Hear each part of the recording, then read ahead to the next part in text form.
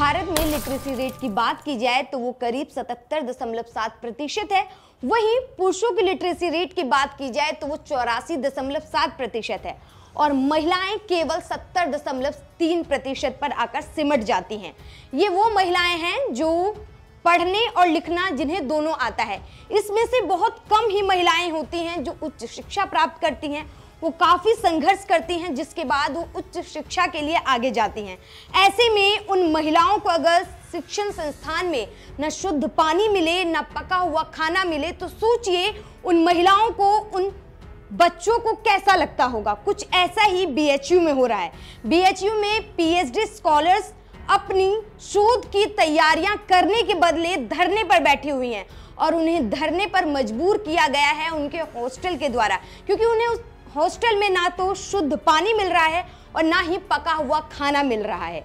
कल रात से लगातार महिलाएँ करीब 200 छात्राएँ धरने पर बैठी हुई हैं और उनकी मांग है कि कुलपति आके उनकी परेशानियों को सुने और उनके समाधान का उन्हें आश्वासन तो कम से कम दे ही दे। आपको बता दें कि लगातार छात्राएँ आरोप लगा रही हैं कि उन्हें ना तो शुद्ध पानी मिलता है, ना ही खाना मिलता है, यहाँ तक कि इस वक्त उन्हें इंटरनेट भी उपलब्ध नहीं कराया जा रहा है। ऐसे में सोचने को हर व्यक्ति मजबूर हो जाता है कि एक महिला भारत में जब बहुत मेहनत करके, बहुत परिश्रम करके उन्हें कितना रोका जाता है, उसके बाद भी वो उच्च शिक्षा के लिए आगे बढ़ती हैं, उसके बाद उनके साथ ऐसा व्यवहार किया जाए और कुलपति के पास समय भी ना हो कि उनकी समस्या को सुन सके तो आप समझ सकते हैं वो कितनी मजबूर होंगी कि इस ठंड में भी वो धरने पर बैठी है। नमस्कार, आप देख रहे हैं मॉलिटिक्स।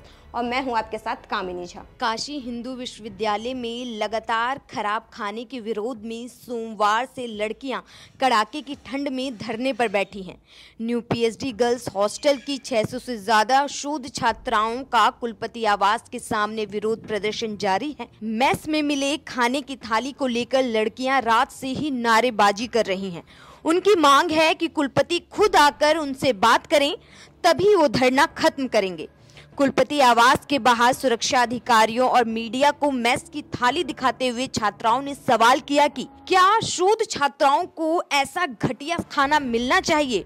उबले हुए फ्राइड राइस जो कि कच्चे हैं, वहीं ऑयली फूड्स छात्राओं का कहना है कि ये खाना उन्हें काफ़ी नुकसान पहुंचाएगा।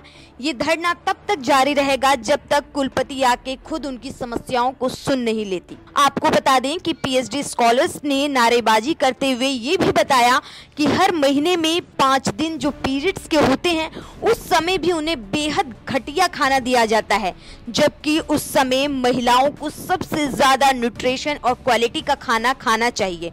उन सब के बावजूद उन्हें वही घटिया खाना परोसा जाता है और जब वो अपने वार्डन से इसकी शिकायत करती हैं तो उन्हें धमकाया जाता है कि वो उन्हें हॉस्टल से निकाल देगी। उन्होंने बताया कि हॉस्टल के लिए सालाना बीस हज़ार रुपये की मोटी रकम वो जमा करवाते हैं। उसके बाद भी उन्हें इस तरीके का घटिया खाना दिया जाता है। इसके साथ साथ ही उन्हें ढंग का और शुद्ध पानी तक नहीं मिलता है। मेडिकल की एक छात्रा ने कहा कि हम डॉक्टरी की पढ़ाई करके बीएचयू जैसी यूनिवर्सिटी में आए। दिन भर अस्पताल की ओटी ओबीडी और लैब में काम करते हैं। हॉस्टल आने के बाद ये खराब खाना मिलता है दिन भर अस्पताल में इलाज करते हैं और रात में मिलता है बीमार करने वाला खाना। जबकि हॉस्टल प्रबंधन बीस हज़ार सालाना फ़ीस लेती है।